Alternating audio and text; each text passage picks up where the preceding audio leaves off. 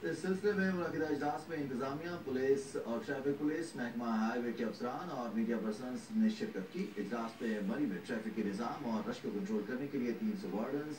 दो पी और छह इंस्पेक्टर्स की इजाफी ड्यूटियां लगाने का फैसला किया गया बर्फबारी के दौरान ट्रैफिक में खलल डालने के बायस मरी में हैवी ट्रैफिक के दाखिले पर मुकम्मल पाबंदी होगी जबकि सड़कों से फौरी तौर पर बर्फ को हटाने और ट्रैफिक को रवा रखने के लिए स्नो हाइक ट्रेन और दीगर मशीनरी को भी अलर्ट रखा जाएगा